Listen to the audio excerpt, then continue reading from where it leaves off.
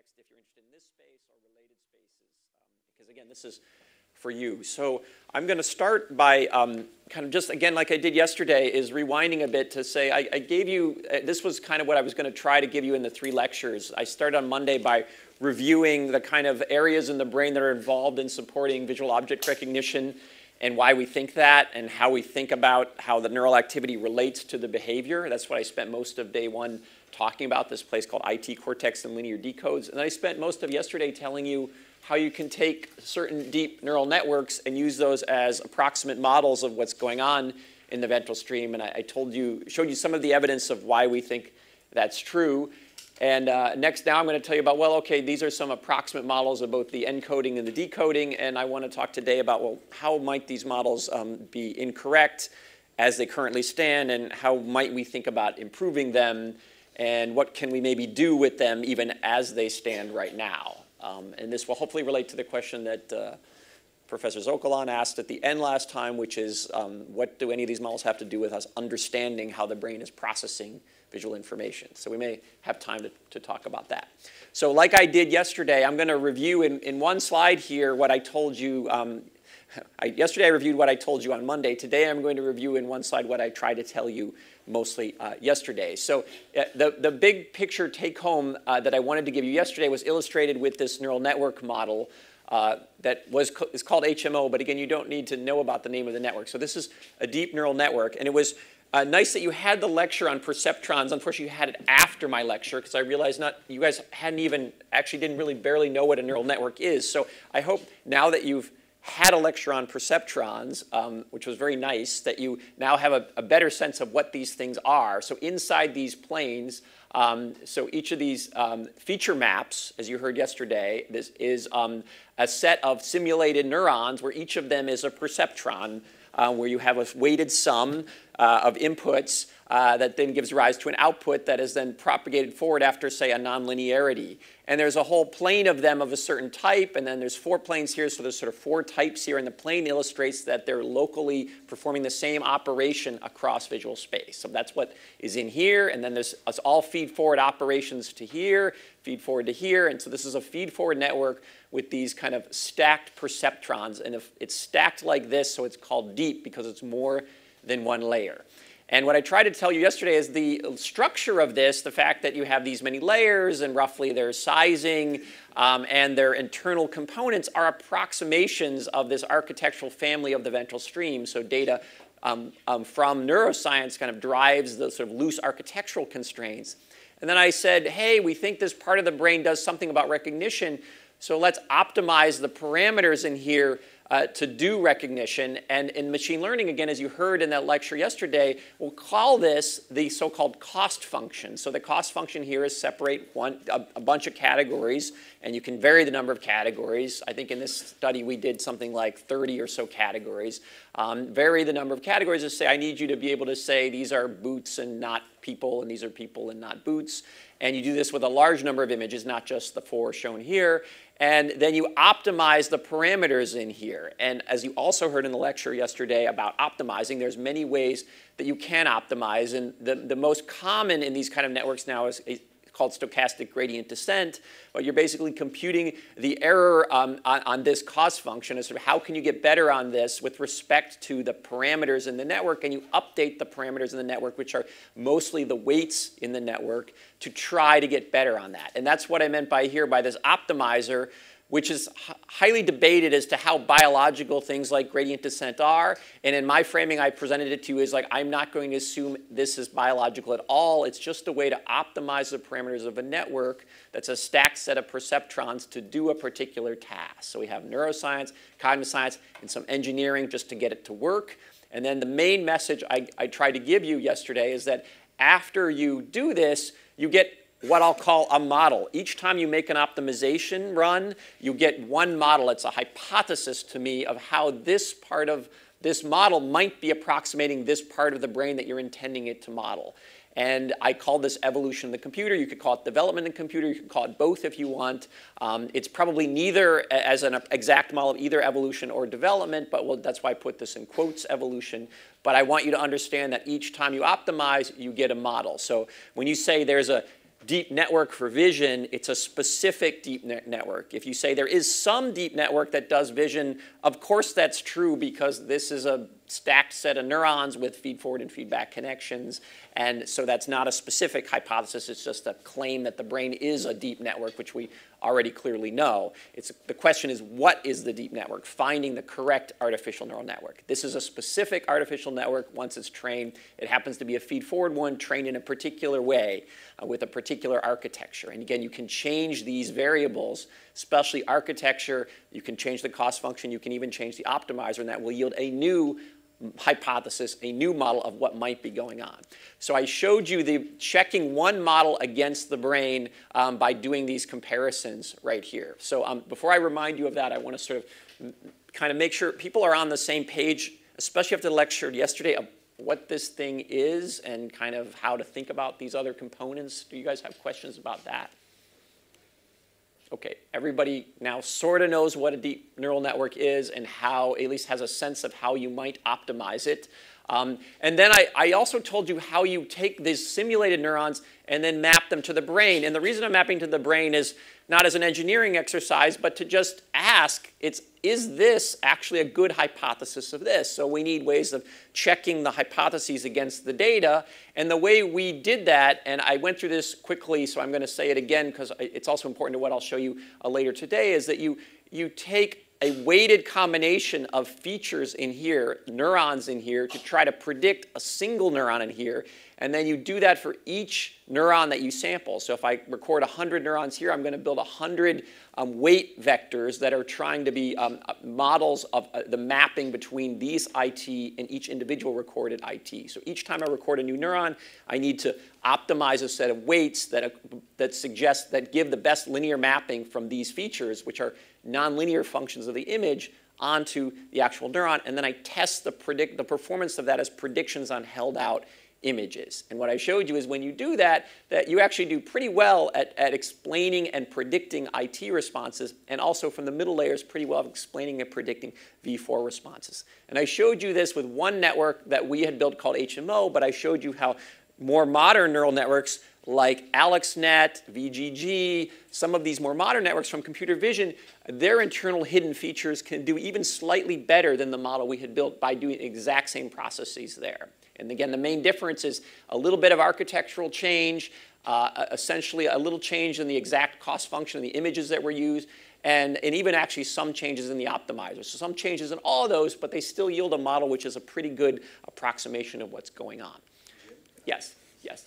So you say these, these IT uh, neurons predict well the IT neurons and the V4 neurons predict well the V4 neurons. What about if you switch them? Yes, uh, and if I go back, I, I think you maybe weren't at the lecture. Oh, I will. was at the lecture. Yeah, so I will show. But I, since the interest of it's a great question, and I did show that, but in, since I'll back up here, it, this is the slide you want, which is that not everything predicts everything else. Um, here, I'll show you. This is the summary slide right there.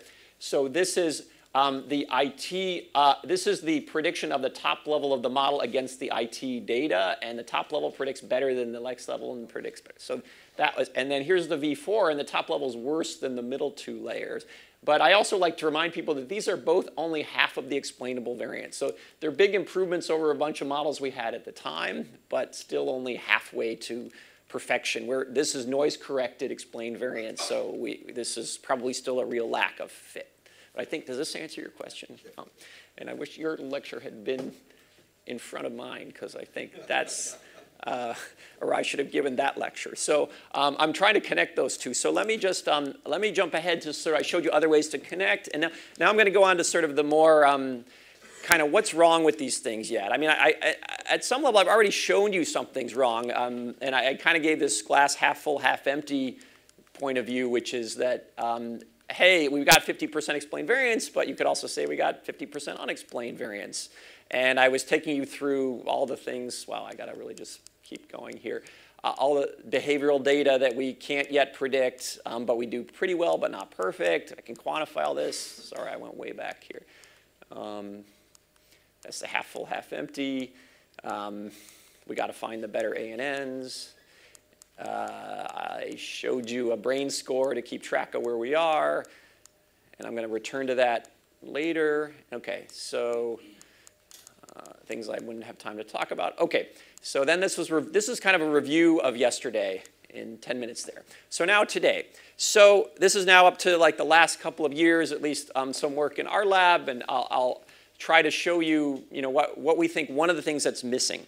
So the first thing we did, one of the things we've done recently is say, um, and this is with a, actually a MURI team, Fei Fei Li, uh, Jitendra Malik, uh, uh, Jack Gallant, and others working on where are deep networks wrong relative to brains.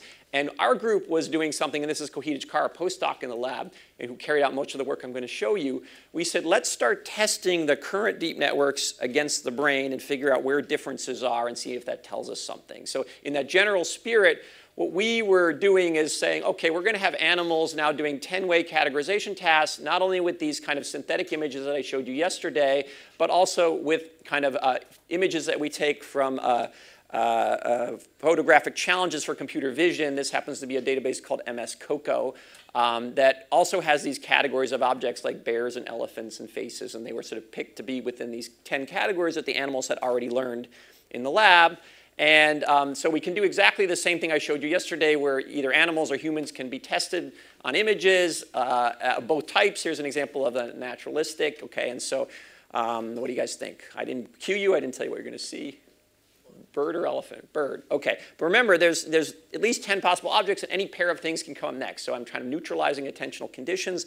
We actually also inserted in the test a bunch of things that you thought might intuit would give things, uh, would, would be where humans somehow show advantages. We just stuck this in for coverage. Um, you know, things like I showed you synthetic is how we built things naturally. We blurred things, we made things small, we did some occlusion. Um, we cut out parts of the object, which is like incomplete. Uh, there was some deformations. Um, and then Ko had a couple of other things. And I already mentioned we showed some natural versions. Um, I'm not going to talk about these in detail, just to say we tried to augment the set in ways that we hope would expose more differences between networks and brains. And then we did a lot of behavioral data collection. And I showed you a little bit of that yesterday, and I'm going to show you it in a different format here today. So what's, this is an important plot for you to understand. What's on the x-axis is the the performance of a computer vision system. This was AlexNet when we started. I'm going to show you a bunch of other deep networks. Um, and so that's its computer vision performance in D prime units. So zero is 50% accuracy, and eh, you know infinity is 100% in these units. But sort of you know something like four, uh, greater than four is like 98%. So really good if you're above four. Um, and then here's monkey performance, and the star means it would be very similar for humans, which we've also measured. Um, but this is actually monkey performance data. And now each dot on this plot is an image. Okay, so, um, and the same units, D prime units. So everybody's treated in the same units. So what do you guys see? What's, sorry, what? What, somebody, what do you see? Monkeys or primates in general are on average better on these images. Okay, we see that because the points are above the diagonal. Um, anything else?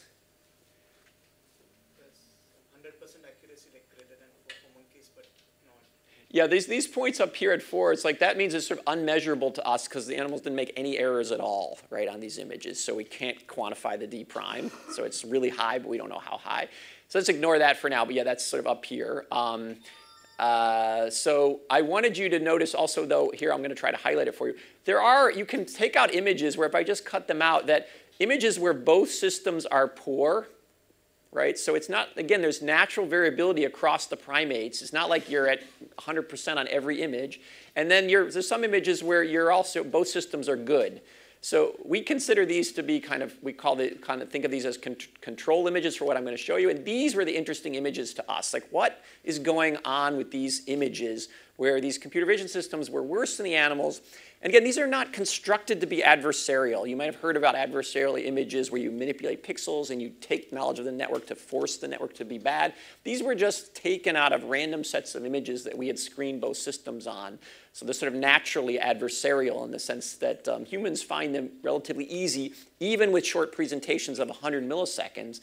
Uh, yet uh, computer vision systems, at the, at the time, these systems, at least this system, was struggling with these kind of images. And so now you can see there's these two bags of images that we'll call control, or call control, or what I'll call CV solved, computer vision solved, and computer vision not solved, or so-called challenge images, as I'll also call them. Yeah. So these, uh, these data for the monkeys are collected from, from multiple animals, I guess. Uh, yes. And, and uh, the average performance, the average over, I think it's at least two animals here in these data um, over many trials of the images. Um, and, um, but we also can measure this in humans, and we get over where each human only gets to see each image once, and we? We have monkeys. Monkeys versus humans is that it's not perfectly correlated, but it's it's almost within. Um, uh, it's it's we're not clear if there might still be some differences, but it's it doesn't look anything like this. Most of the plots look like very strongly along the diagonal. It looks like the control diagonal. Monkey versus monkey. do you- Yeah, I don't know if we made that plot. It gets into sort of noise issues of how much data from each animal. I, I- think there is a good correlation, but I don't know what the number is. I'm, I'm sure there is a correlation and it's better than this, but I don't remember what the number is. And of course, those correlations depend strongly on how much data you get per image, because you have to, if you, but you, where you're asking is for the noise-corrected correlation. As far as we can tell, the noise-corrected correlation is near one, but there's uncertainty around that, right? So um, for, for both the monkeys versus the humans and the and the monkeys versus the monkeys. Um, and it, there's a paper um, that I, I can point you to uh, that uh, is published like last year on this exact issue, and I think it has all of that in it. Um, okay, one thing is like, hey, I told you that was AlexNet. Here's a bunch of computer vision systems at the time. There's AlexNet at the top, and here, this is now plotting in delta units the delta versus the primates. So, um, you know, numbers that are up here um, means that the system is doing worse than the primate on this plot. Um, so uh, the way this delta is computed. Uh, so, and anything above this dashed line, we were kind of taking, I think is, well, I don't remember why Cope put this dashed line here, forget that. What I want you to see is like, the red are images that we took as challenge images out of AlexNet, and I want you to see how similar this is across AlexNet, uh, this NYU system, and VGG at the time. So these were sort of three sort of medium deep neural networks, like networks at the time for doing computer vision. And I just want you to see it's not like AlexNet had a particular set of errors and then VGG would have a totally different set of errors. The errors are actually pretty strongly correlated across the networks. But um, mostly I'm going to show you AlexNet. Question? These are pre-trained networks or trained for your image? These are networks that were pre-trained just like the humans and the monkeys. So whatever the designer of the network decided to do, they did. We took the network and we tested it. Um, I can show you in the paper I just referred to, we actually did fine tuning with our particular synthetic images. It doesn't change these results very much. Um, but I think this is an important tension in the field. People who are saying deep networks can solve the problem. And like as an experimentalist, I don't get to retrain the human. So if you're going to hand me a model of the system, you can't tell me I need to train it up in some imagined way that I haven't yet done. Otherwise, you're not handing me a hypothesis, you're handing me a family of possible hypotheses. And I don't mean you in particular, but I sort of get that kind of comment from deep neural networks people a lot. Some network can solve it, because then I totally agree with them, but I'm like, please help me find that one. All I can tell you is these ones are broken as handed to me by these measures. Okay. Um, uh, here's uh, examples of the images that we saw, that we kind of found in those two groups. And I'm showing you these not so something's going to pop off the page at you. In fact, it's for the opposite. I mean, you can stare at them. These are some examples. Um, uh, you don't suddenly see, oh, everything's small or everything's cluttered or everything. And in fact, I'll show you regressions on, on some of that later. Um, you, when you regress out these variables uh, like position, scale, or occlusion, um, you don't um, explain a lot by single variable regression on that. So it's hard to look at these as a human and infer what's making them hard for the computer vision system just by staring at images. These are some examples. Um, and so again, this is what I'm saying here. The understanding embedded in these models of what's making them hard is going to allow us to do a better design experiment. So rather than going into the experiment saying, I think clutter is important. Let's show clutter to monkeys and spend several monkeys' lives and who knows how many dollars to measure clutter. We're going to let the models tell us what are they struggling with as an output of the models rather than a single variable that human intuition might say, why don't you do clutter, you, which is the typical way experiments would be done. So the models are going to tell us, test these images because we find them hard. We don't know why. Compare them to the brain and see if you can help us. Um, and so here's how we're going to do that. So that's that plot I just showed you. Um, these are those images that I showed earlier, but I'm now going to isolate the top part here. Why am I doing that? Because these are really um, eh, kind of special in a way, because these are ones where primates are very good. So all, all primates and humans find these easy. Um, and now you can see, though, there's a nice range of performance here. And we can actually do this at different levels of human performance, and we have, but I'm just going to, for simplicity, show you this high level of performance. Humans find these easy, and monkeys, they both find them easy, but you can see computer vision systems, some of these are easy, we'll call those controls. So both systems find them easy. And here's the special images, the challenge images. Computer vision systems like, I don't know why, but I'm struggling on this image here. And you, primate systems, somehow deal with it just fine. So those are the two groups of images. Of course, we can test things in between, but we'll focus on these two extreme groups that are going to call control and challenge, or CV solved and unsolved. So what do we do as experimentalists? Well, I showed you in the first day, we said we think we know where the brain solves these things in the ventral visual stream. Um, we, I told you that solutions to object identity and category tended to be easily linearly decodable out of IT and that it could predict the behavior of the animal quite well. That was all of day one. So our first question is, well, what happens to these unsolved images inside just measuring IT, uh, because there's a straight up prediction there that IT should somehow solve these if you believe everything I told you on day one. So Ko went and did our standard thing of put triple arrays in. He actually got more arrays in than we typically do to get more recordings within each animal, um, record a bunch of spikes in response to each image, just like I showed you on day one. Uh, and you know lots of reps of each image, and, uh, and the animal is either doing a task or not doing the task, and it turns out that doesn't matter much, and I'll show you that in a minute. Um, but you get these population vectors out. Remember, you can do things like count spikes over various time windows. Um, here, we're now going to take time windows that are going to be big or small, and I'm mostly going to show you small time windows and what's coming next, where we're going to slide the window across time. And, um, and you then train these classifiers to try to do how well can you tell it's a 10, which object it is? So you train a 10-way classifiers on this neural data on some of the images, and you test performance on held-out images. And I'm going to show you the test performance out of IT for both the challenge and the control images. Okay. Um, do we have predictions? What do you guys think? Any guesses? I'm trying to sort of find out what you know, look, I just get the setup, right? So this is like we're using the models as a hypothesis, and we're trying to ask the brain, what are you maybe doing different than these models at the level of the readout of the brain neurally, where we can look with high res- spatial and temporal resolution. Anybody have any thoughts? If you is IT going to spit out the answer to these images? What do you think? Some people say yes. If, if, some people say yes. Well, so based on what I told you in the first day, that would be a prediction. I'd hope it'd be yes. But it's a question, right? We don't know, right? Because these are especially challenging images, right? We do know the primate solves it, so somewhere in the brain there's an answer. We just don't really know if it's an IT. Maybe the images we showed before were somehow the easy images, and, uh, and that was easy for us to find an IT, and maybe the hard images aren't going to be there. So that's one question. Um, there's another question I'll let you guys will come out in the data. So the question that was kind of motivating us all along, which I, I haven't said because I didn't want to kind of give it away completely, but um, here's one of these kind of relatively um, uh, easy for both systems images. It's a face again on an on a uncorrelated naturalistic background. It's one of our synthetic images. Um, there's the sliding decode out of IT. Here's the monkey level accuracy. Now, of course, the total accuracy depends on the number of sites that you're recording. I forget what the number here is on the order of hundreds of sites. Um, but we're going to, whatever image I show, we have the exact same number of sites. So, so I wouldn't worry so much about the absolute level, but we're going to want to compare across the images. But you see that this actually gets up to monkey level performance, which is again around in this band of three to four D prime units at about uh, 110 milliseconds or so. And that's a time we call it there. Um, and you remember I told you at the beginning, IT neurons have latencies of around 100 milliseconds. And this is the neural data that you're seeing here now on a color bar scale. So you see the responses of a whole bunch of neurons coming up across time.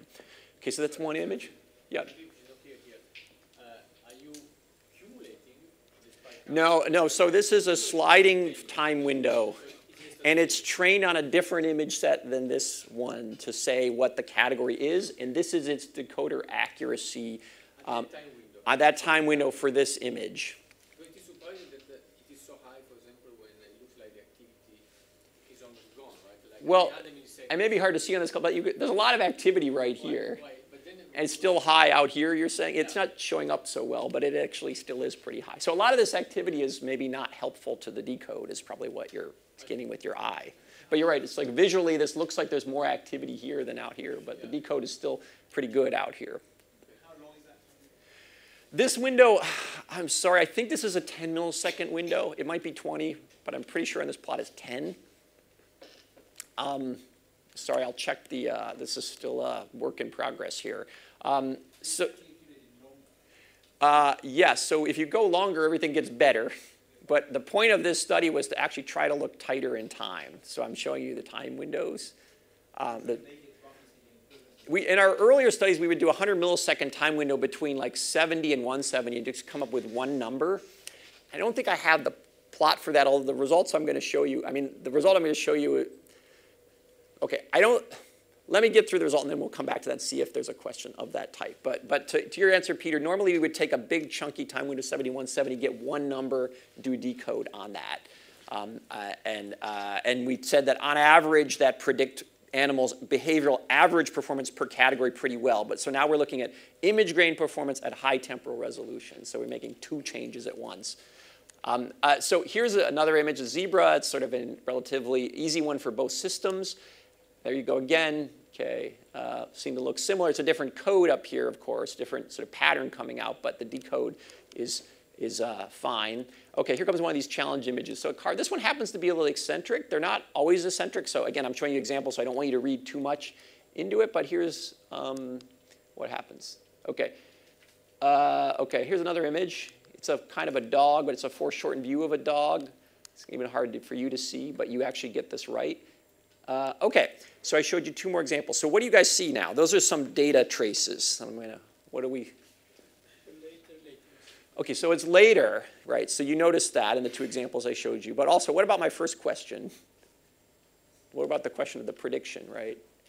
It's not, it's not down here at like zero or one, it actually goes up, right? So the, it's, the solution occurs in IT at a later time point. So we didn't know that the IT would actually come out with these solutions, but it does. And this is just two examples. And it's generally true, uh, we can't say it's true for every single image, but it's 90 some percent images uh, we think decodes exist uh, within IT um, for the, at, at, human level performance, like the ones I'm showing you here. And as you pointed out, they tend to be later. And these two examples are clean examples. I'm going to show you the whole distribution in a minute. So this is what I just said. It is linear decodable, even though these are hard for computer vision systems, but it tends a little bit later. Okay, here's actually like, I think this is 15 or I don't know how many images and their times of decode. So I, you might have noticed I was putting that t theta on there. That was our estimate of a time to reach a particular performance level, which was three d prime units on the last slide. So this is doing that for all these images and plotting the time of the, the t theta time for all these images. And the, red, the color indicates whether they're from the challenge category or the control category. And we actually measured this for thousands of images. And these are actually the data I'm most proud of. It's not what I'm going to tell you about, but these are actually where I think the real power of these experiments lies, using these as constraints on models. But I'm going to give you the high-level view of the data here, which is easier for humans to digest, which is already kind of apparent on the slide, which you've already said, which is you notice the red dots are generally later than the blue dots, right? And, but not perfectly. There's overlap in these, and I'll show you the full distribution. But you see that. There's the mean delay, 30 milliseconds. Okay, that's the mean delay among the image types to get this one, and like the examples I showed you, right? So again, but you see some are very long, some are shorter, so it's a mean. Um, 30 milliseconds. So remember, this is all happening in a, you know, we're only showing the image for 100 milliseconds. Generally, human dwell times, as I said, we're like 200 milliseconds at each location of the image. Um, usually when people think about um, recurrent processing, they're thinking at much longer time scales involving, you know, overt eye movements or attention. This is kind of probably very subconscious to each of us what's going on in here, but your system is actually requiring a little more time to execute on these images. Yes, Peter.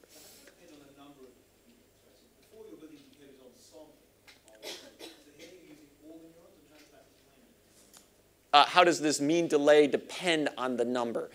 Uh, good question. Um, I think to our first approximation, it doesn't. When the number gets really low, you have to lower the performance threshold to even get, say, you've decoded anything right? So, so what you're asking is like if I was decoding out of 10 neurons, I'd be, I'd be well below the behavioral level.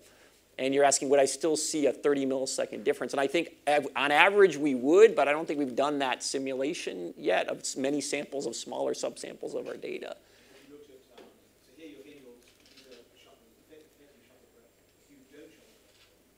Uh, shuffle correct. Uh, sorry. what- So are you um, using the ability to filter based on um, recording this different days from Uh, uh, different images from the animal. And these, these images are actually collected over many days. So this is chronic recording that we pool over many days.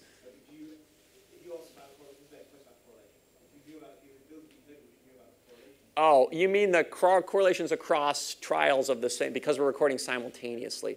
Um, that's a good question. We, we haven't, when previously when we looked at that, it hasn't affected our decoder level performances very much, but um, we haven't tried it in these finer data, at least not to my satisfaction yet, but that's something we should try.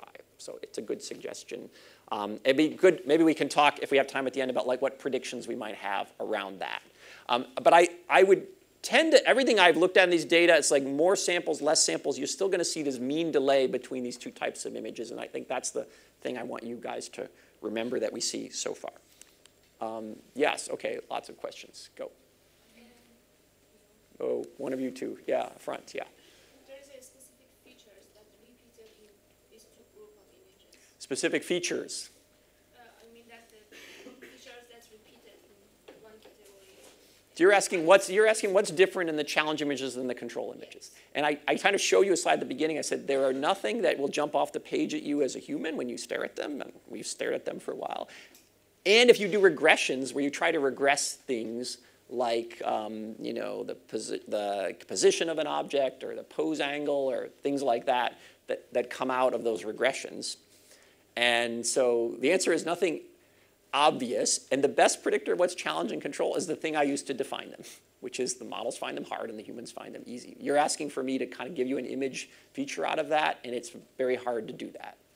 And I mean, it seems that the CV salt, most of the CV salt is animated pictures. You, you may have an impression from a few images. I don't know if I've tried animate regression. So, so maybe we should make a, maybe this would be a fun exercise for the group. Everybody could send me the thing they want me to regress on the images, and we'll see if any of them yield anything. Because it actually would be useful to the, to the general research too, to say, here are all the things that humans intuit might be going on in these images. Let's try them as regressors. Now, not all of them are labeled on our data, but we could get them all labeled to see if any of those, how much power each of them shows. I'm going to show you regression side in a little bit so we can talk about. Then we didn't try, I don't think we tried animate, non-animate. So um, then maybe that's one that will make a difference, but I don't think we tried that one yet. One question back there. Yeah, um, my question is absolutely related to her question, which is, uh, did you try any uh, uh, machine learning approaches for feature extraction here between the difficult, so any feature extraction between the uh, difficult and non-difficult, just to, to see? So you want me to kind of take the differences and then try to, but how, how, what, what's, what basis will I encode the data um, beyond the pixels, which is how they're already encoded? That's the same question again. How do I, how do you want me to do that? I don't know, like just see what they cluster on. on But I, okay, maybe you guys could come with some type of characteristics and then see. how- Well, again, we had a bunch of characteristics. We regressed them. They don't cluster on single things. They're an interaction of many things as far as we can tell. But those are the suggestions. If you guys have some ideas of what they might cluster on, we could try. But there's an infinite number of things to try, and if you give them to me, we can try them all and see if you ever get happy. But um, But you could, you could train a deep network to try to classify the hard from the easy images. yeah, but I kind of already know how, I guess I already know how to do that, right? Yeah, but then you get the features. Yeah, so then maybe then we'd have a network that would generate more such images. Yeah. But I, I don't know if it would satisfy the animate question. But I, I, I like it as an efficiency argument that we could use it to make more of these things. Like, um, and then it's sort of like the main reason, main thing it does is takes the human out of the loop because right now we can push them through Mechanical Turk and say models humans different go, models humans the same not go.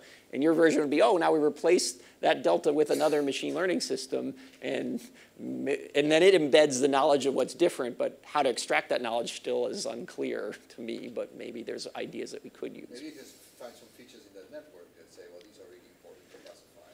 Yeah, maybe. I don't know. We have. It's a linear separable problem. Yeah, may- maybe these are good suggestions that we could try. I'll show you what we see out of the brain now, and then maybe we can come back to this. So you saw what we saw. Okay, so I told you there was this mean delay of the images, and I'm keep saying mean delay. Um, I also told you this. This was the monkeys actually doing the task. When we collected the data. Um, the numbers are all now lower here because I'm going to lower the number of sites, as I mentioned, but you can kind of still see this sort of average delay here. Um, and the uh, trained monkeys, this is the same monkeys, but we tell them just fixate while we show you these images. You don't, you're going to get rewarded for fixating. And you still see this. And um, one of the reviewer critiques of this, yeah, but the monkey might still be doing the task. It could depend on the training. So then we did a subset of our images and went back to some of our older animals that we had actually collected some of these images on older animals that were never trained to do anything, were just passively viewing. And we still see these lags over here. So from these kind of data, we take this to mean that most of what we're seeing here in this lag is something that's automatically evoked, this extra processing or lagged processing that's automatically evoked even in untrained animals. It's not something we had to train in or that the animal even needs to be engaged in the task to engage, just like your retina works even if you're not trying to make it work as long as your eyes are open. So the circuits are kind of automatically doing things that you, you don't have to consciously put effort into to make it happen. Um, so what are the, oh yes, sir. Have you ever tried choice probability instead of trying? Choice probabilities, yes. These are great questions about how the, the neural activity relates to the behavior. So when the neural activity is high, as animal's choice is low, these are all ways to make inferences on the type of what we'd call the decoder that intervenes between IT and the behavior. That's something we're working on now. We have done some of that. There is choice probability in these data. It's not what I'm focusing on here. I'm not really ready to talk about it today, but it's sort of a different question. Here we were just like, hey, these encoding models, something's broken with them. Let's try to infer what's broken with them, and I'm trying to go down that road right relation to your work is that if you separate the correct trials and the similarity between IT cortex and deep learning in correct trials, it, may be higher for correct trials than wrong trials. Uh, sorry, could you say that one more time? The, you correct trials, IT response to correct trials, incorrect trials, I- and then similarity of IT cortex to deep networks. Okay, so you're wondering if the incorrect trials look more like deep networks than the correct trials, something like that. That's a cool idea. We, I don't think we've done that yet. I'd have to ask Ko if he's tried that. Um, yeah. Did you see the difference in the temporal in the single cell level or something like PH, PXDH? I mean, the, the challenging image. Oh, you're just you're asking about like are the neural latencies different? Yeah, um, and we have done a lot of that, and the answer is no. If anything, the neural latencies are a little faster in IT for the for the challenge images. And actually, let me back up. I should have piloted that on the slide here. I meant to do that, and I didn't. Um, this is to your question. So see this late these late decodes. Look at the uh, response activity at the top. So you see it's still, they're still out here, but the decode's sort of somewhere in here. And if you actually then quantify all that, you know, the latencies are about the same. Actually, and if you look in area V4, the input to IT, they're very similarly matched for across these two images. So, and then we've done a bunch of analyses of let's find the neurons, individual neurons that like each type of object and see if those are lagged or, in, in their latencies. And then if you just look at response latencies and by all these different measures, if anything, there's a slight faster thing for the challenge images than the control. So this isn't simply explained by some long lagged, it didn't get through the retina kind of, that's my, that was sort of my original worry. It's like, hey, everything's slow coming through the retina, of course it's gonna look lag, but things are very well matched even up to V4 in terms of the responses. There's something about the activity, the initial activity is not quite good enough and then some churning happens that allows it to become better. And it, but it seems good enough for the, some of the images, but not good enough for all of the images. It's possible to be the effect of feedback condition. That's exactly how we think about it. But, but there's alternative views, which would be slow feed forward versions, which is where I thought your question was going, right? So imagine, you know, that again, it didn't make through the retina as fast. That's kind of a boring answer. But the fact that IT is responding is one piece of evidence against that, right? Does that so so because this we we I, I sort of said I didn't want to say this because it is the thing that we think is going on is there's probably some need for recurrence here that's automatically evoked. And um, that was what we were trying to investigate. But the, we're trying to rule out the other possibilities, which would be you know, bad choices of images slow through the visual system. And one third question, did you separate the posterior and anterior neurons? And the- You mean posterior IT and anterior IT? yeah. Yes, we have. I don't have those plots for you. I think they generally show the same. Again, I, I would have to ask Ko, who, who's doing the, you know, he's writing this up right now. I can't remember if there's any difference. I think they both show lags. I don't know if the lag is slightly higher in the anterior, which is maybe what you're asking. Um, so I, I don't want to say because I don't remember.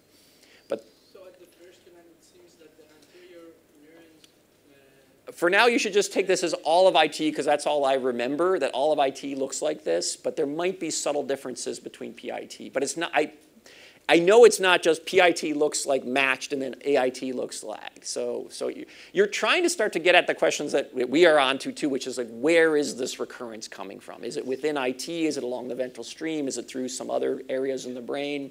And I have some data on that I don't have ready to show you, but you know, we, we think there's probably a pre, prefrontal circuit involved here. This is from muscimol silencing work that Ko has done recently, but um, we don't, I would, my wager would be it's kind of not just one recurrent circuit. It's probably circuits within IT, maybe even some within the ventral stream and some elsewhere is my, just that, that's my neutral, like agnostic guess rather than trying to say it's one simple thing. It's probably a mixture of things. But that's where you're going with those questions, I think. Yeah. Um, I'm not sure if this question will make sense, but in, if you look at the images, is there a way to distinguish between, let's say, making a wrong guess and not knowing the answer? Yeah. Is there a way to, let's say, if, for example, my uh, accuracy of my guess is too low, I would just say the image is too complex, I don't know. Right. Or, for example, on this image, I would say, no, there is not a null. Right. Yeah, this is, it, it, sort of gets down to, I think that's a great suggestion of how to do the behavior in a different way. You know, and, and Shadlen's lab has done this in a different, well, you can have like a confidence judgment. Like you can have a bailout choice, right? Instead of to express your confidence. And rather than two options, is two options are I don't know, right? And, um, and yeah, and that's, that's an interesting uh, set of behavioral data that we don't have that we should think about getting here because it's how we're starting to also think about better decoders on these things, which are now sliding evidence accumulation decoders, much like what's been done on the dorsal stream, just at much faster time scales. Um, and that's actually what Ko's fitting now, and it relates to the choice probability question. But then the issue of confidence comes up when you start building those kind of decoders, which that's where your question is a way to sort of estimate confidence psychophysically. We don't have those kind of data.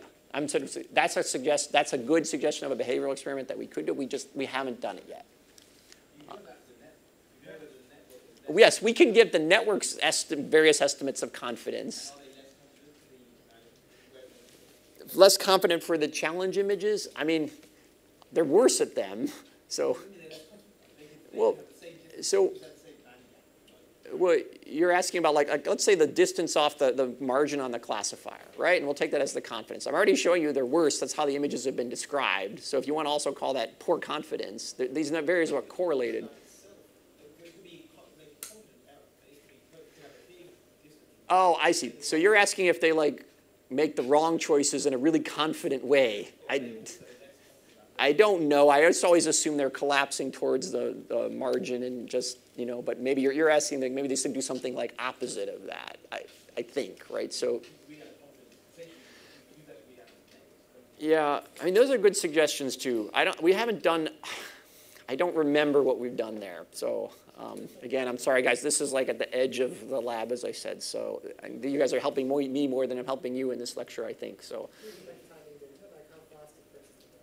I'm sorry?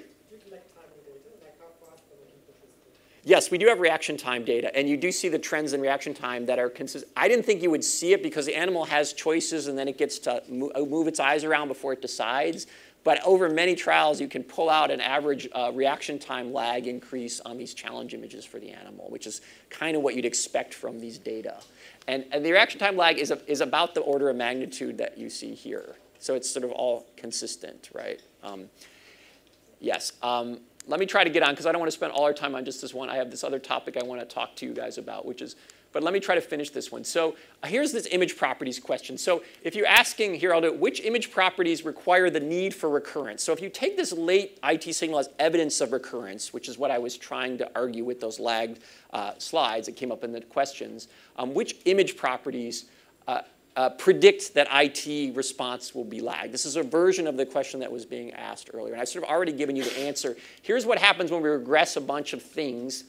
Occlusion has a little bit of weight. Um, if you regress a bunch of all these things together, then you get a little bit of effect. The best predictor of whether IT will show recurrence is the deviation of the current feed-forward networks against the primate behavior, which is this thing over here, right? So to me, this is an example of how instead of using the words that humans would like to use about the images, the models already embed the knowledge of what's going on here, and we use them as the predictor of what will engage the recurrent circuits in IT. May not be as satisfying as humans, but it's a better predictor. If you want to talk about occlusion, there's a little bit of juice in there for you. But if you only focus on occlusion, you're, you're missing a bigger picture of what's going on here. Okay, a little bit more evidence about what is missing from current ANNs. I said recurrence is important, but let me give you another sort of insight into that that comes from comparing different models.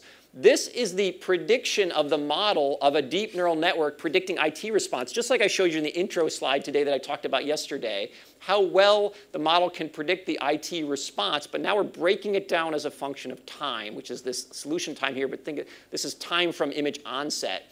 And so what I want you to see is like the current feed-forward networks are pretty good at predicting the front edge of the response, and then they fall off rapidly. This plot has been normalized by any drop in responsivity that Davide mentioned. This is sort of noise-corrected explained variance. So there is variance to explain here, and it's already been corrected for that. So this drop off is not just because the responses are fading off. This is actually a drop off in predictive power of the models. And what we're doing here is asking the model to build a weight function, as I said earlier at the beginning of the talk. Weight function here, different one here, different one here. It's doing its best job at each time bin to try to take the features and fit this response, and it just does better at the front than it does at the back.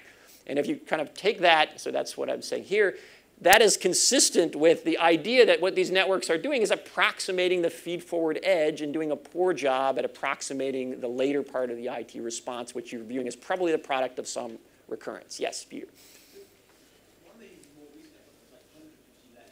You're on to my next slide. Okay, because this is an eight-layer network. That's exactly this. Um, Again, I mentioned we have thousands of constraints to guide these, but let's go to the deeper networks. So here's this plot again, slightly different format. If you look at this window, here's the explained variance. See, it's pretty low. Here's these eight layer-ish networks. They're all slightly different, but let's call them around 10. As Peter uh, uh, just said, the newer networks are, these are networks that are 40 to 100 layers or more.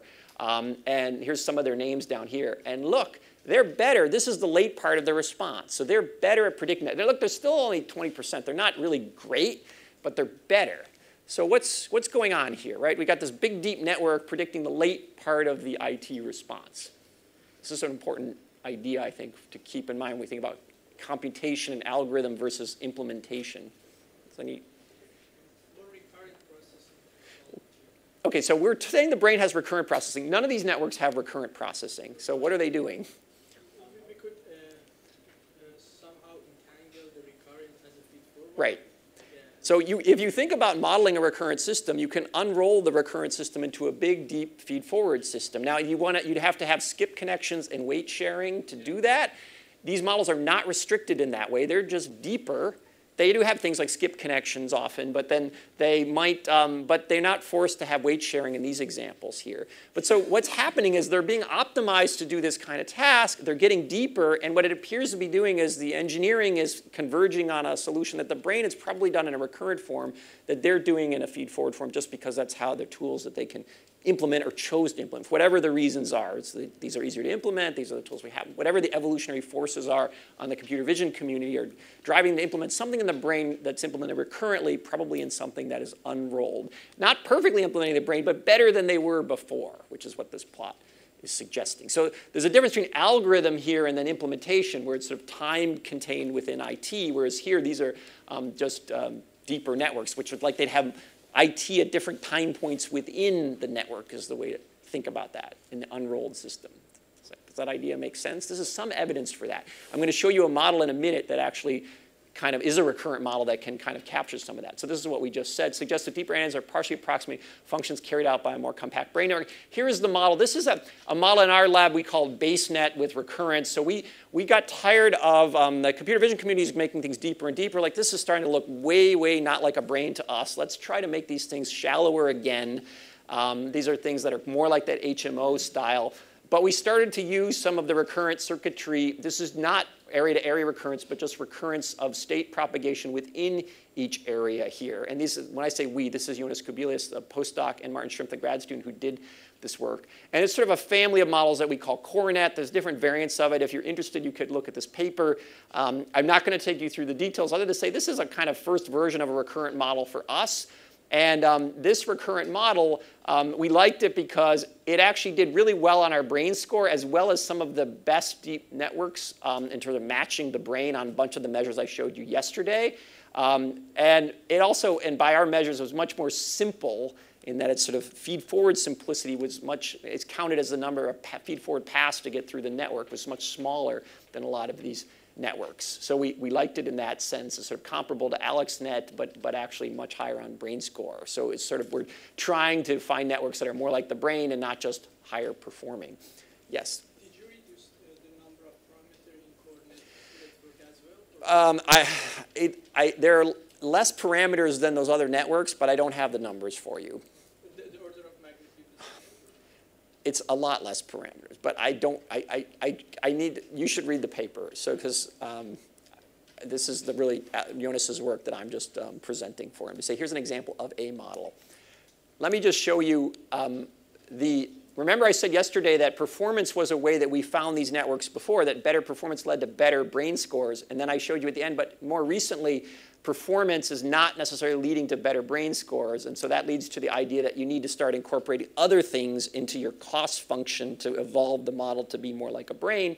And the brain has to not only perform, but it has to fit this thing inside a small space. That's where recurrence might help you too. It needs to worry about things like wiring, size, and power, energetics, and broadly. And that, those things are not necessarily important to necessarily winning ImageNet, right? So um, this is sort of a, a kind of first example for us of that is like we need to start changing our metrics of not just performance to drive the models to be like the brain. Now, how should we put in those costs? I don't know. This is like one example of our first attempt to put in something sort of like a wiring cost. Um, but I'm sort of just trying to inspire you with that general idea. Like, we can't just go performance driven if we want to make it brain like. We need performance in the broader sense of energy and size and so forth. Um, and so here's that network, CORnet, and, and, back to this slide. This is the first pass out of CORnet, out of its IT layer. It looks, you know, pretty good, um, but you see as more passes, it gets better, right? So it's sort of kind of bridging between these models in effect, right? And this model is not like a breakthrough in computer vision. It's more of a model that's sort of better matched to what's going on in the brain. Um, and, um, and its ImageNet performance is actually a, somewhat lower, not super lower, but lower than some of these models. So the computer vision community is like, yeah, whatever, you guys got CORnet. I, I mean, I don't know what they'd say, but for, for us brain scientists, this is moving in the right direction of what's going on in the brain. Yep. Um, how to do in the challenge images? It, I don't remember the exact numbers. It did better, but I don't remember how much better. I'm sorry, Peter? I, again, in general, it's doing worse than the feed-forward networks on all of them, so it's probably, it may even be slightly worse. The real question is, is a differential. It's better on IT, yes. But again, you can see we're down at low explained variance numbers here. So these may not translate, and they don't, you know, you, you can't take these IT measures and go, oh, if I'm maximal this, I get performance. That's actually one of the tensions going on right now. Dan Yamins is building other recurrent models, and they can fit IT better, but they're not necessarily higher performing. So we need to be a little careful about just chasing IT and assume we'll get performance. Um, but I haven't, your I should have a better answer to your question. And again, this is like stuff out like last month as arXiv papers. I don't know the answer. That's another good question. Maybe somebody should be writing these down for me. Again, you guys are helping me. Um, I'll try to remember those. Okay, Davide, So yeah. just- Sorry, just to follow up on the question of Peter, I guess at some point, uh, if you keep improving uh, uh, modeling, uh, the tuning of companions eventually, Yeah. you, you will also improve performance, right? Because Eventually, if we have enough samples out of it IT, does change images. yeah, we should. So, I mean, We should. We should eventually. Eventually, we should. It's just I don't. We're not there yet. Yeah. So we have a model that can kind of look like it's going in the right direction, but it's still not gotten you know performance and IT and everything perfect, right? So that, that's the that's how I would characterize that right now. And so we have work to do still. Um, what else is missing from these networks? I mean, I just talked about recurrence as something that sort of people have obviously said is missing, but I tried to do it in a way that was motivated from, you know, I can, a neuroanatomist will look at the deep networks and say, obviously recurrence is missing, that's what's wrong. But the same neuroanatomist would say, well, synapses are missing, so that's what's wrong. And the physiologists would say spikes are missing, so that's what's wrong. So it's easy to kind of just say these are things that are not like the brain. So we try to do this in more of a kind of performance-driven, algorithmic sense of what's missing to get to this point, which may, you may have already believed recurrence is important. So in that sense, I'm not giving you any knowledge. Your prior was already recurrence is important. They obviously need to put that into the networks. And you don't need me to tell you that with some experimental data. And that's why I said earlier in the talk, the important part is like, if we put up on BrainScore the exact time that your network should spit out an answer to every one of those images, that's the constraint that will really help the modelers. Is not just saying, oh, I need recurrence, because I may already like that. But if I say, these are the versions of when the brain spits out those answers, I hope that will be a more of a constraining uh, in piece of information or large amount of information than just the one bit of information of, hey, why don't you think about recurrence, which is a pretty low bar for experiment. Yeah. First, could you have this data that is the, the challenging, non-challenging data somewhere online, or is it? Yes, so the point, that's what, as soon as that paper, you know, I told Kobe, as soon as that paper is accepted, those go up on brain score for available testing. That's ex- and we're trying to figure out exactly how to do that, how to sort of score the temporal capabilities of various networks.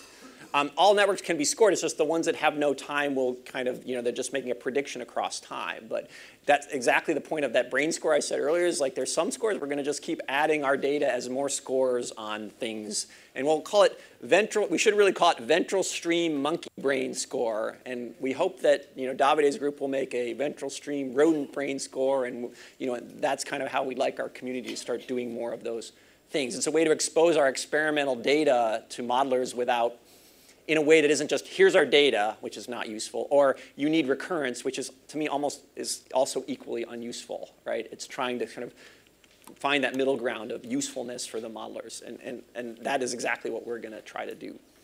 But we haven't done it yet, but it's it should be in the next month or two, I hope. Depends on some reviewers at this point. Um, uh, okay, what can I want to go on to? I was going to leave this up because maybe we could come back to like what else is missing, and but maybe we'll leave that to the end for discussion. A recurrence is not the only thing that's probably broken with these models, right? It's just the one thing that we had been working on that I wanted to tell you about. But we could talk about guesses of what else might be missing. But let's sort of do that at the end. I want to now go to this question that Davide raised at the end of yesterday, which is what what do these models do for us in terms of understanding what's going on in the brain? Or how and more concretely i'm going to ask what can we do with them that we couldn't do before?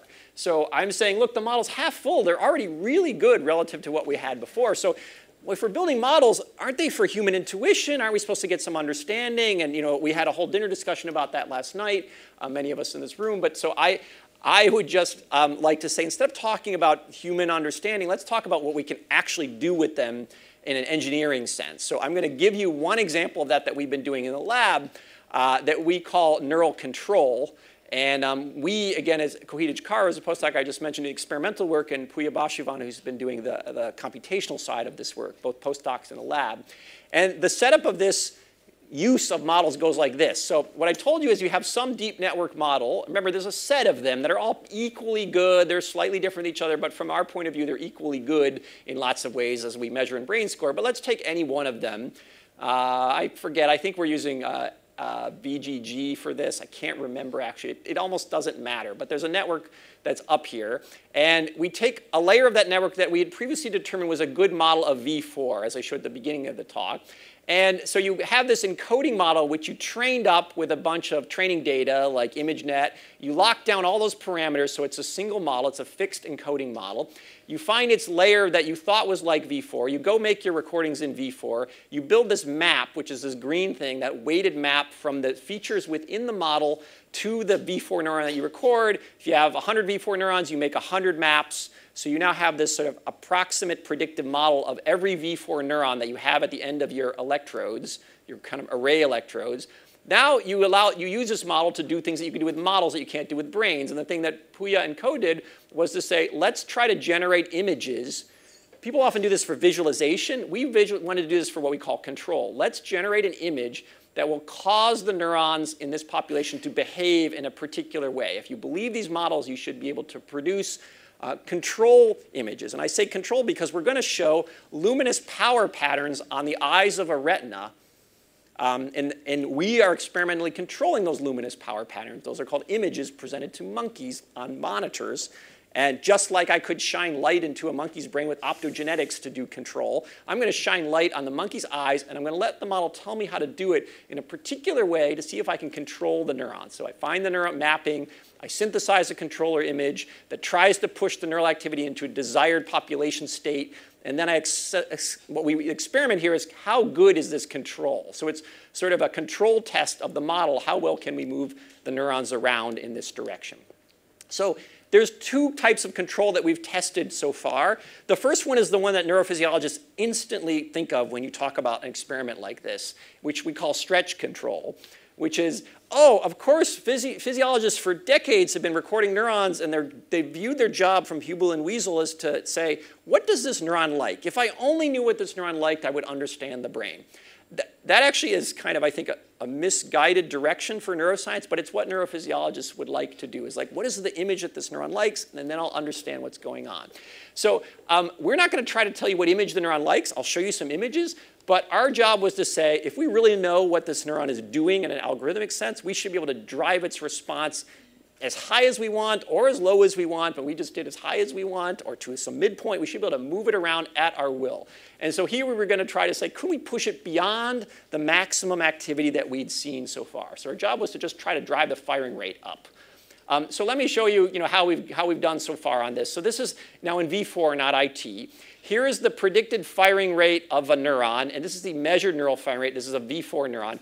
This is predicted by that mapped model that I showed you earlier, and this is on held out images, and you see how good this is. So this correlation is pretty good, and that's basically a summary of what I said on the, yesterday's talk, that hey, these models give us pretty good predictive models of what's going on inside the brain, and this is evidence of that. Um, and now we can actually say, what's the best image here? So this is the thing a physiologist would typically do. There's, a there's the best image. These are just random sample natural images. We showed all these natural images, and here's this image that we happen to show. There's the receptive field of the V4 neuron. Remember, the receptive field is the part of space that when you flash bars of light in it that it tends to respond, and it's probably a rough approximation of where it sits anatomically. Um, that's called the classical receptive field that we mapped with other stimuli. And there's a zoom in on that part of the image in that V4 neuron's receptive field. And uh, you could look at this and say, well, maybe it likes this corner, maybe it likes that edge, maybe it likes this curve, and you could look at a bunch of images and try to make those inferences and word models, and that, that's been done again for decades. But our job was to say, let's find these controller images that the model predicts would drive it up even higher than this thing. So what's cool about this is the model's like not restricted to natural images. It just plays with the pixels under whatever constraints you give it. And this is like deep dreaming and stuff and networks, but it's just trying to do it for a goal to find some image that it thinks will drive this neuron up. So we're using the knowledge implicitly embedded in the models to manipulate the pixels to find parts of this super crazy high number of image space that we can never explore by hand, but let the model find things that we think will drive the neuron into some state that we as experimenters desire, in this case, a high response state.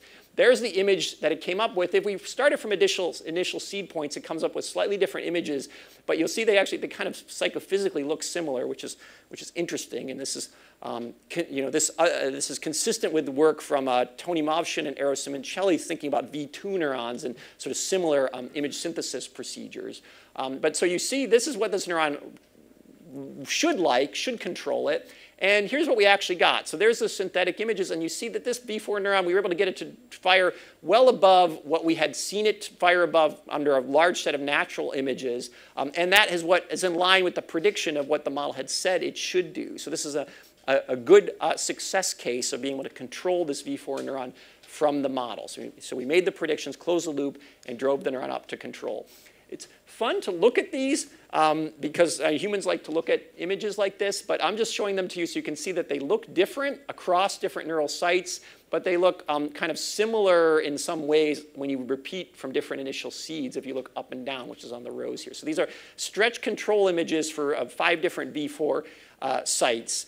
And then I'm going to show you the degree of our control. So zero would mean we weren't able to drive it any higher than we'd observed on naturalistic images. Um, sometimes we can get really higher. Sometimes we fail and actually go slightly lower. On average, we got about 40% increase above the maximum response that we had previously seen before using this stretch control uh, method that I described here.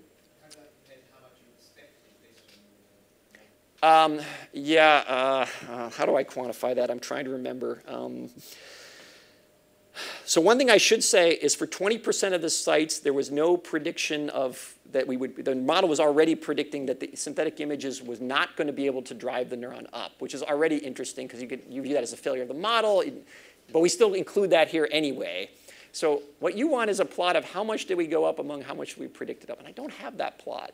Um, Sorry, again, cutting edge of stuff. Somebody writing down everything. Peter's asking all the good questions. Maybe you can remind me later. I, am sure we could get that to you in, in like one day. Um, but um, yeah, I don't know the number. I, I have a few slides that relate to that later and see maybe we can come back, but I don't actually have a slide on that exact question. I, what I do have is I thought you were going to, many people would ask, well, you're showing these natural images. People know that V4 neurons like curves and so forth.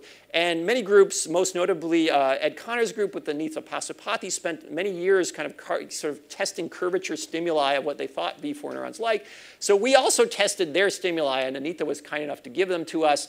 We presented their stimuli within the receptive fields of V4 neurons to find what are the maximum firing rates we can get across a large set of these kind of curvature-like stimuli that are also even higher contrast um, than the ones we showed, uh, than the natural images. And what's sort of intriguing about this is these stimuli didn't drive the neurons as much as many of the natural stimuli. So our control abilities referenced against these maximum looked even better. So if we had only collected these and then done the control, we would sort of feel like we were really doing great at control. But we, this was the reference set that we had originally collected. So again, it, if anything, it goes in the opposite direction of what you might have thought about what V4 neurons care about. Okay. Yeah. Go back to the images that you have shown before, right? So I guess uh, something interesting about actually looking at the actual images, right, is the fact that they, they look more like uh, textures. Right. And that's consistent with like the V2 work from uh, Tony and Eero. Right, right. Could this be because the textures, so that there's a it is kind of taking into account the fact that these neurons should have some degree of invariance. And so Yeah. you don't get want something look alike. Not expect Well, okay, again, you can read into that. I forget there's an important detail that relates to your question, though. So, which is when we generate these images, we, this is what you can do with the models. You can put in a cost that says, I need this to be position tolerant to the response of the neuron, right? Because the neuron's got the model of the neuron, you can build an image so that it's trying to be, assume that the experimenter does not have perfect control because we'd have to have perfect eye control. So we actually built that in when we made the images. It's like, hey, we're gonna have some eye jitter. So because there's a whole manifold of stretch images the model can come up with, please try to give us ones that will be robust to experimenter error in the position axis. So that was actually, some jitter tolerance was built in. So I wouldn't read too much into any particular set I show you without, you know, I'd have to show you a set without position tolerance for you to then make such a, an inference from just looking at the images there. So I'm just telling you that that's an important detail that might be coloring these images. Um, but if your argument or your point is that, well, look, these are, these are position tolerant, I don't know, I guess that was your argument. Yeah, yeah, I mean, the fact that you have this repeated pattern, right, which is typical of the textures, Yeah. Uh, may, may imply that somehow you want, I mean, is it I, don't know. Is this repeated right here to here? Is that I, I, I, I, yeah? I mean, I, I don't think this is. Again, we already believe IT builds up invariance to things like position. So I'm, I'm not. It's not. I'm not saying it isn't consistent with that. I'm just. I don't. Trying to say that perhaps uh, this outcome is more expected, in my opinion, than if you show me Which outcome? uh, uh,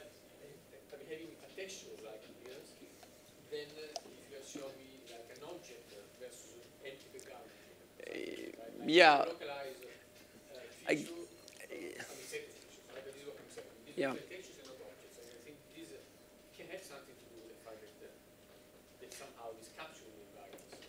It could. I, I mean, I'll, I'll show you some. I think I have some images at the moment that don't look like textures. Okay. Um, also, you got to remember this is V4 and not IT. So, so, I mean, you know, it's fun to look at these things. For me now, I'm just, you know, I show them to people I know like to look at them, and do what you're doing. I'm, I'm, just, um, I'm just trying to say we can use the models to drive the neurons in a way that we would not have been able to do without the models. Um, that's, so, um, but this is an example of that more strongly. So instead of doing what the physiologist wants to naturally do, let's try to do something with the whole population. So this we call the one hot set state. So could we take a population of V4 neurons and find images control images that would drive one V4 neuron that we choose as experimenters up while keeping all other neurons down. Right? That's not even an experiment that a, a physiologist even would think about, let alone try to handle. They'd have to manage, you know, 40 stimuli at once. It's like, oh, I think the neuron likes X, so I'm going to hand optimize that. Oh, all these other neurons don't like X, so I got to hand, I got to somehow optimize over 40 things at once. Impossible for a human being to do. Yet we can ask the algorithm to sort of find, try to find such things. Um, so this is called a one-hot um, uh, target state. We could imagine other states like half on, half off, alternate on. These are just random numbers of neurons. They're not in any order, just the order they come off the electrodes here. Um, and this was, again, our first attempt at some population control. And our first reference here is to say, let's search through the images we had happened to show um, these naturalistic images and find one that was the best part, one hot control. So we have like a softmax score to judge whether this is a good control or not. And this was the best we found in our set for this neuron. It drove this one up, and these ones sort of lower than the, that one. So whatever was going on, this was sort of a, a partial control in that direction. And um, you might sort of say, well, look, this is um, this, this, this off-axis or off-target activity that you're getting out of these neurons is maybe not surprising because one thing I didn't tell you is that these neurons have highly overlapping receptive fields right? So this is what makes the problem interesting. If I told you I had two V4 neurons with different receptive fields, the physiologist would say, ah, obviously I can control these. I'll put energy over here, then I'll put energy over here, and I'll get independent control. But now I show you this field, and you're like, oh, that becomes a lot more challenging because I need to know something about the actual preferences of the units underneath that receptive field. And so that's just a reflection of this puts energy in there that's sort of of interest to many neurons within this area. But when we kind of use the synthesizer to say, tell us what you can do, Here's what it comes up with first to try to turn this neuron on and all the others off. I don't know what it is. It's not an object. This, this um, Davide, maybe you like this one better. I don't know. It has repeated structure. Um, I don't know. Is it an object? I don't know. There's some weird patterns in it. I don't even know what to make of it. Notice there's also, this is a full field test. There's actually some energy over here, which we're not sure if that's critical to any results yet. But because we were comparing against these 8 degree, we were working within an 8 degree window to sort of match what was done over here. And you see there's like a little bit of energy, but most of the energy is within the field, which kind of makes some sense. Okay, and then here's what happens. It's not perfect, but it's much better, right? So like this neuron is up, some of there's off-axis activity, um, but it's like I found a way to kind of put energy into the animal's eyes. Like I want that neuron on, the other one's off, and and I get some partial success out of doing that. And the the model enabled that, right? So um, that is a control example. Now you can start sort of dreaming about things that you might do more broadly with this kind of technique in a control sense. Here's a bit of controls for our control. Um, here's the control gain score on that one hot. Um, the example I showed you, to be fair, was one of the better examples, which is out here. Um, here's our sort of typical gains in control on one hot population control. Here's our gains if we restrict them to be perfectly overlapping receptive fields as best we can get. You see there's still uh, a 40% gain in one hot control. And here's our gain in one hot control over those curvature stimuli, which again, generally don't control things as well as the naturalistic stimuli. Those are just quantification. Here's a visualization of what we were dreaming about when we started this. This is actually eight recorded, simultaneously recorded neurons. And what, you're trying, what we're trying to see here is we're asking the synthesizer to say, I want you to one by one try to turn on each of these eight neurons and turn off the other seven. And the, the neuron that's trying to be turned on is in dark red and the ones off are in light red. And you see, it's like you can kind of stare at the images. There might be some orientation stuff, some other things going on. But you can kind of see as you go around the clock that it does a reasonable job of doing that here. And so this is sort of the demo of what we were imagining is we want if we sort of understand a system, we should be able to have independent access control on that system. And now all kinds of cool questions re relate, come out of this. And Peter's already sort of gone on to some of them, which is, um, you know, things like, um, uh, uh, is it even possible? Some neurons might be like anatomically coupled, and it's not even going to be possible to independently control them. These are questions we don't know the answer to yet. But these are experiments that now can be done with these kind of techniques. So, and I like to dream about, you know, IT. This is V4, and this can be done in IT. But places like IT, they're one step from the amygdala. And the amygdala is an area where you read tons of papers where people will say, if only I could turn on the neurons in the right way, people will feel less depressed, they're going to be happier, and they talk about sticking in optogenetic things to turn on and off the neurons. If we really have good models of a system, maybe we can push targeted energy activation through the system to non-invasively mess with neurons in a way that might relate to human health. Now that's a, a bit of a stretch, but I'm putting it out there to say this is the kind of things you might dream about doing with models that isn't really in the words of understanding, but is in the words of goals of the field um, that, that we might want to think about with these kind of techniques. The last thing I'll say about this is the, as the models get better, this is sort of the fidelity of the models to the V4 neurons, and this is the one hot population control score. Um, as the models tend to get better, um, then the control gets better, right? So that's what you'd expect. But I'm saying this because the models are not perfect, but if we go back to the first parts of the talk, if we improve the models, we should improve the control. And there's already evidence of that. So these two things will, will tend to go together, obviously. Um, and um, I'll just sort of, I think that's probably the last slide I have on that is to say, oh yes, so go ahead.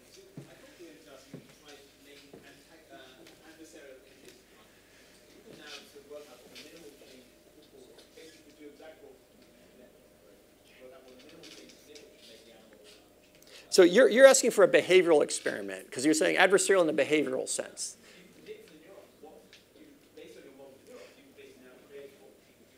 Yeah, we can already do that without recording though, right? You already have models of the, you, that's a behavioral experiment, right? You can take images, you can take neural networks of the brain and say how, what's going to be adversarial for the brain.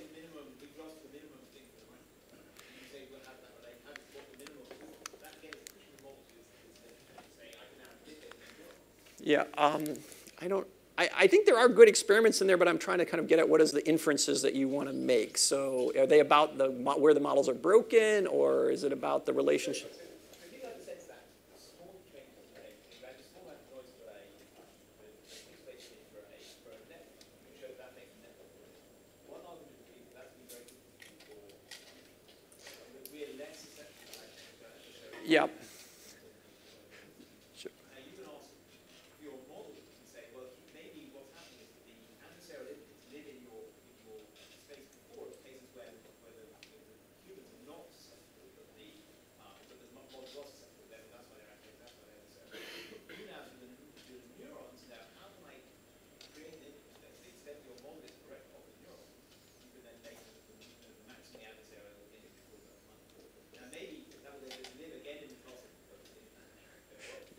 I, think the, the problem right now is I think the, the problem is the maximal adversarial image for the behavioral level is basically going to be the same one even if I didn't have the neurons. The, the interesting, so that you can run that experiment already without the neurons.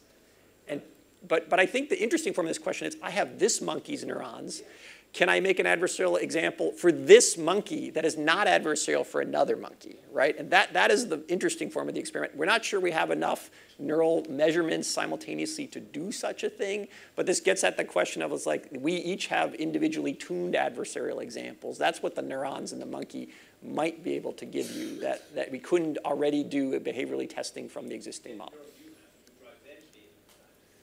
Yeah, but you got to remember the neurons are a sample of so many, so it's, you know it might not work. But the spirit of that, I, I get, I, li- I, I get, I like that. We're, we've actually been talking about that in the lab. It's like we don't know whether we can do it yet, and we're trying to run some numbers. But um, um, you, you also probably know the recent work from Goodfellow and others on the adversarial tests in humans. This came out a couple months ago, so that humans are susceptible to adversarial examples. This is, of course, a debate in the field. But you know, when you show them for brief periods of time then they show the same adversarial trends as the models, which is, you know, again, the models to me are just approximations of the initial response, not of whole human vision. And when we play the adversarial game, usually in the audience, you're looking at the image for two seconds.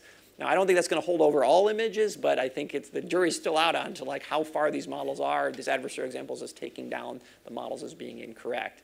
But the really interesting form of this is we probably do have individualized adversarial attacks we just, they're all black box attacks right now on us, but I'm, this becomes more of a, it's not a full white box attack because I don't have access to everything inside the brain, but I can get some internal measurements and make a sort of gray box attack on that monkey in a way.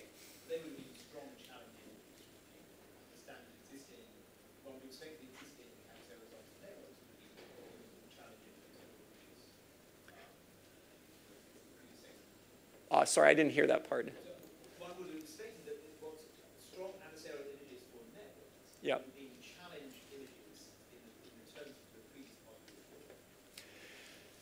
Yes.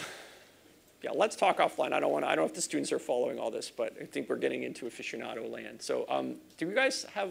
Let's see, questions about that before I do a little bit on understanding. Um, okay. Yeah. What about IT? Here was everything on, on V4. This was all on V4. Okay. Yeah. In IT, you already tried.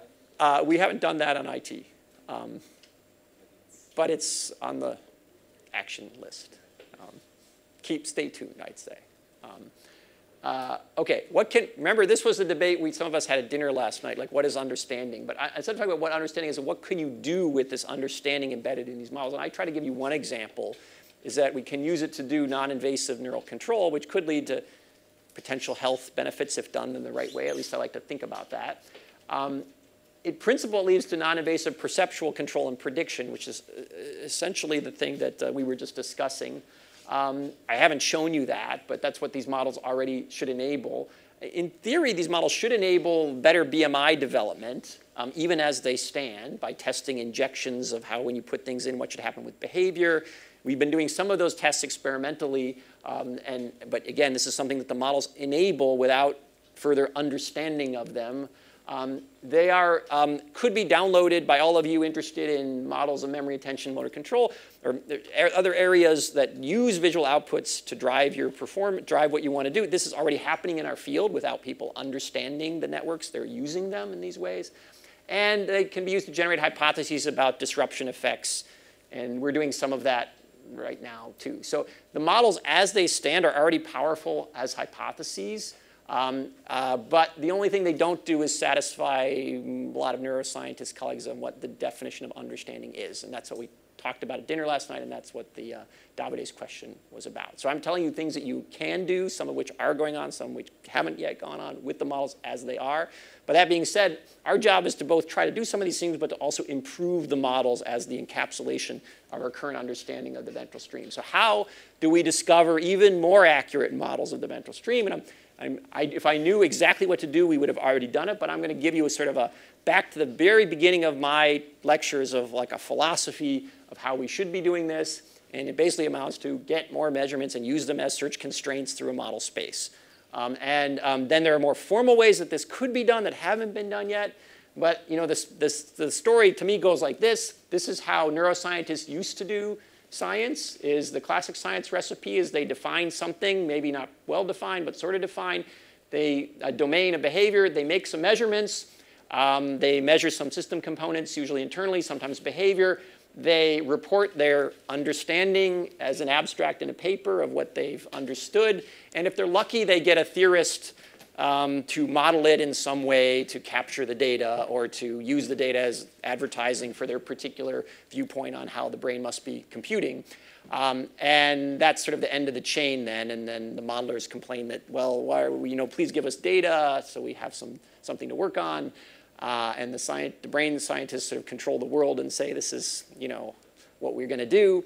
And I think that model is reaching the end of its limits, uh, end of its time with respect to complex systems like vision. And um, the new model I keep arguing for is this reverse engineering recipe, which makes several changes to this kind of classic recipe of doing science. The first change is that the models kind of become the, the leading thing, that the models now become the sort of hypothesis generators uh, for driving the experiments. As you saw all of today, every experiment that we were doing was driven by the models, not by intuition of what we should do. Um, and that's, of course, what a, a, maturing science should do is to start to have models to use to drive the experiments. Um, the second big change that I'm proposing making to our field, in effect, is this word understanding, and that the model is our encapsulation of the current state of understanding. And some people will know the models better than others, um, but the entire field can benefit from the use of the models as I was just describing. And the model is the understanding, and that's a point of contention in debate. And the last thing I would add is that, well, you've got this loop. It doesn't just go here and measure and done. You have then outputs, and this came up in the question about brain score and the recurrent, uh, recurrent uh, where you put the data. Those data that we measure become available to drive the next generation of models. And to us, that's going through this thing I call brain score. And then, you know, the, that I showed you kind of one or two turns of that loop within my lab. Some models, and we go get some data, and then we build some new models. And it's like, well, that takes a couple years. And at that rate, we'll be like slowly doing this. So if we could move the humans a little more out of the loop here, this whole thing could go a little faster right? But this is now starting to sound like automated science, and the humans want to be inside the loop, knowing what's going on and calling, transferring the knowledge and so forth. But even in our lab, we're, we're kind of what we call techifying the recordings so that the recordings are actually requested um, by, uh, by the modelers to say, these are images we think we should test um, so that then the data can come out faster. We're trying to, again, present them as brain scores in a formalized way. And you can imagine doing searches over models that are more automated than just individual people pushing on one particular model. And that works already goes on in a number of, um, number of areas of, uh, of machine learning. And we think we could leverage that into uh, these kind of data constraints. And um, the, um, this is kind of my view on where we're sort of headed, and maybe some people call this dark and depressing. I just feel like this is what's going to happen naturally. Um, but that's sort of what we're doing already. And even if you don't like that kind of view and what we're trying to do with it, I hope that you still appreciate the idea that going across this, defining, operationalizing something, and then measuring and modeling and measuring model is essentially what good science is. And the intersection of AI, machine learning, and brain science is quite exciting in that regard. So you can do this in your own domain of interest. Uh, and I encourage all of you students to think about maybe there's some things that we did that you might be able to think about using similar ideas or related ideas in an area that we don't understand as well as object vision as we understand object vision now, which is still incomplete, but is now in this maturing phase of science. So that's all I wanted to say, and then leave the rest of my time for discussion. And so I try to put that provocative thing up there so we could talk about that or any of the other things that I said, or we can just go and have lunch. Okay?